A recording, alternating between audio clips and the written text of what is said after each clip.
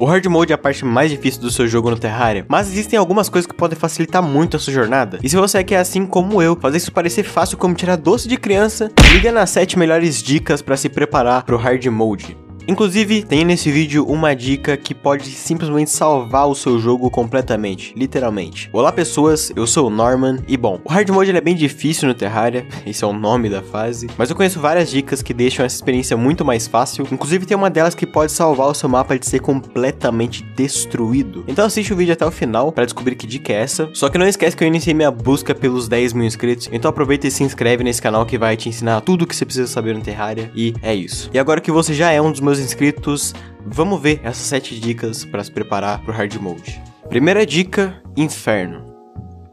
Eu tô falando aqui de fazer um túnel pro inferno. Por mais que pareça besteira, fazer um túnel até o inferno é muito importante, porque no hard mode você precisa dessa movimentação mais rápida, até porque você tá lutando contra o avanço insano dos biomas corruptos. Então, já que você precisa ir até o inferno algumas vezes, já deixa o caminho preparado. Inclusive, você também pode usar esse caminho para chegar mais rápido nas partes mais profundas do subterrâneo, de forma mais rápida. E isso vai te ajudar muito a coletar minérios hard mode de forma mais fácil. Inclusive, uma dica extra nesse truque é que se você usar a montaria de slime, você desce ainda mais rápido. E acredite em mim, cara, no começo do hard mode é muito difícil você pegar minérios hard mode, porque eles ficam bem lá no fundo. E atravessar o subterrâneo ali na, na mão é bem difícil, porque os monstros ainda são muito fortes e isso vai te ajudar bastante. Dica número 2: Ponte no céu.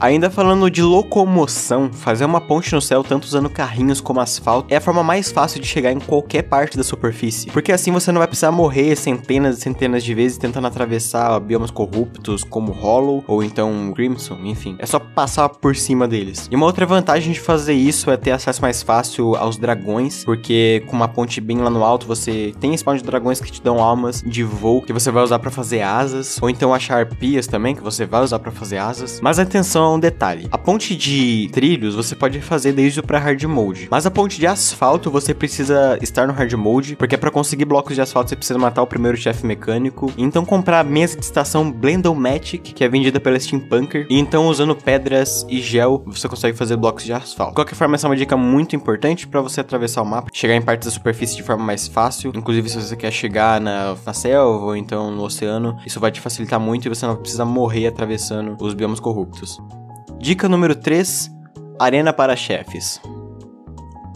Agora falando sobre combate, deixar sua arena para chefes preparada é uma ótima escolha, já que, como eu disse, você provavelmente não vai ter muito tempo para fazer isso no hard mode. Então, enquanto você tá no pré-hard mode, já deixa sua arena mais completa e preparada, fazendo plataformas maiores e colocando buffs como dos girassóis, mel, lanternas de coração, qualquer coisa do tipo, caso você ainda não tenha. Inclusive, cara, comenta aqui embaixo se você gostaria que eu fizesse um vídeo completo ensinando como fazer uma arena boa no Terraria, como fazer uma arena bem OP para você não ter dificuldade para matar chefes. Isso seria bem interessante. Mas enfim, cara, essa arena é muito importante. Inclusive, eu diria que dependendo da dificuldade que você tá jogando, é até impossível derrotar alguns chefes, porque alguns deles são bem rápidos ou tem uma movimentação bem difícil. Então, estar preparado ajuda bastante. E, bom, vamos lá para a quarta dica. A quarta dica é fazer locais de pesca. Como eu disse em um dos meus shorts, a pesca é uma das coisas mais importantes do jogo, então quando você tem locais de pesca preparados, isso fica bem mais seguro e te garante minérios hard mode de forma muito mais fácil. Inclusive naquele shorts eu acabei me confundindo, eu disse que era possível fazer isso desde o pré-hard mode, mas na verdade eu não sabia que aquilo era um bug. Eu realmente achava que era uma mecânica do jogo pegar é, caixas no pré-hard mode, e quando você passava pro hard mode você conseguia os minérios hard mode, mas isso se tratava de um bug, eu não sabia. Inclusive muito obrigado ao Brook Rei do Soul, que me avisou sobre isso. Ele me avisou lá que isso era um bug e que já foi corrigido, muito obrigado. Mas da mesma forma, as caixas ainda são muito úteis e se você pescar elas no hard mode, elas vão te dar os minérios hard mode. Então deixar pelo menos as áreas de pesca preparadas vai facilitar muito a sua vida e você não vai precisar sofrer e morrer incontáveis vezes no subterrâneo do mapa tentando pegar esses minérios.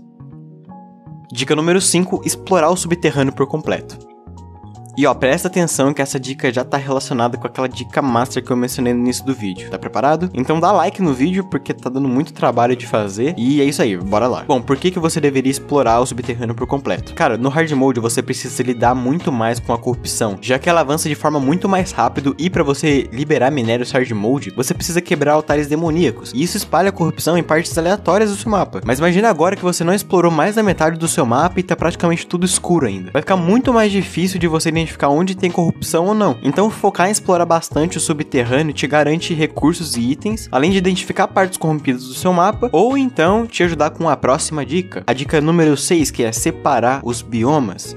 Bom, isso é uma coisa que você pode fazer ainda no pré-hard mode usando bombas, e eu vou te explicar como. Eu tô falando aqui, cara, de isolar as partes já corrompidas do seu mapa desde o pré-hard mode. Fazendo isso, você vai ganhar tempo no hard mode. E se você não sabe, a distância mínima de um bioma corrupto para contaminar outros biomas é de dois blocos. Ou seja, caso a distância entre o bioma corrupto e outro bioma seja de três blocos ou mais, o bioma corrupto não se espalha. Então, de forma geral, cara, explora bastante subterrâneo, que é a dica número 5 lá, porque dessa forma você vai ter uma visão melhor do que, que tá corrompido ou não e recorta todos os seus biomas corruptos sem deixar ele entrar em contato com outros biomas. Dessa forma você não vai corromper seu mapa inteiro, você não vai estragar biomas. E inclusive agora eu vou entrar no jogo e eu vou mostrar para você como é que você pode estar tá fazendo isso de uma forma muito simples, inclusive no pré-hard mode. Você não precisa estar no hard mode para fazer isso. Então, já que no jogo eu tô aqui com a minha personagem principal, que eu já terminei o jogo com ela. Mas vamos lá. Cara, a melhor forma de você recortar os biomas corruptos é com esse carinha aqui, ó, o Demolista. Se você tenta comprar alguma coisa com ele, você pode comprar algumas bombas. Eu recomendo muito a Dinamite mesmo, que ela tem uma área de explosão maior. E basicamente você vai ter que comprar um monte dessas aqui.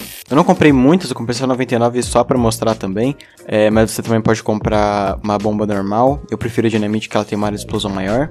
E agora eu vim aqui para esse outro mapa, onde eu posso mostrar exatamente o que eu quero dizer com separar biomas. Esse aqui é um outro mapa que eu tava jogando no Master Mode. E olha só o que, que eu fiz com esse bioma aqui, cara. Eu basicamente recortei ele inteiro. Você vê aqui por baixo, ó, dá pra, dá pra ver exatamente como que funciona. Tem que ter aqui, ó, pelo menos três blocos de distância, tá? No caso eu coloquei até mais para garantir. Mas se tiver três blocos de distância, não contamina outro bioma. No Master Mode, principalmente, isso aqui espalha muito rápido. Então eu gosto assim de recortar o bioma de corrupção, o bioma corrupto. Mas eu também gosto de isolar os biomas demais, os outros biomas. E eu vou dar então um exemplo aqui, ó, para esse outro lado. Então imagina que essa parte aqui do meu mapa acabou sendo corrompida ou aqui foi corrompida. Eu não quero deixar é, essa corrupção espalhar para nenhum desses dois biomas. O que eu vou fazer é simplesmente fazer um túnel daqui até lá no inferno. E com bombas isso fica muito fácil, é só você começar a jogar a bomba para baixo.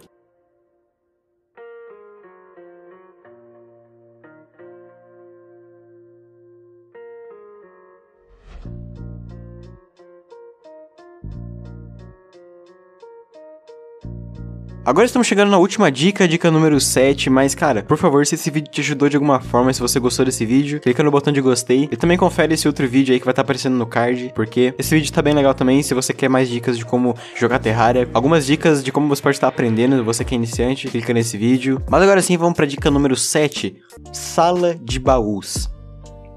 Por último, e não menos importante, muito pelo contrário, essa dica é bem especial, já que quando eu comecei no jogo, eu basicamente só pegava todos os meus itens, tacava tudo no baú, ou então metade dos itens eu jogava fora, achando que não ia ser importante. Mas hoje em dia eu percebo que isso era um erro muito grave, já que principalmente no hard mode, basicamente tudo é importante. E ter uma organização mínima é muito útil, cara. Saber previamente onde seus itens estão guardados e guardar eles por categoria deixa muito mais fácil para você pegar depois o que você precisa. Eu não tô falando aqui de fazer um negócio extremamente mirabolante, fazer uma sala insana de baús, mas só de você ter um lugar com vários baús para você guardar bastante item já ajuda bastante. Inclusive, cara, separa por categorias. Geralmente eu só coloco ali mesmo o nome do, do baú com a categoria de itens, é, isso já ajuda bastante, mas se você quiser colocar algum indicador é, visual, né, do que que tem naquele, naquela categoria de baús, já ajuda bastante. E guarda tudo, guarda tudo que você acha, porque você nunca sabe quando você vai precisar, por mais que você ache que não é útil, vai que lá na frente você precisa, então guarda. Sempre que você estiver no subterrâneo, pega os baús que você achar e leva com você, porque talvez você use depois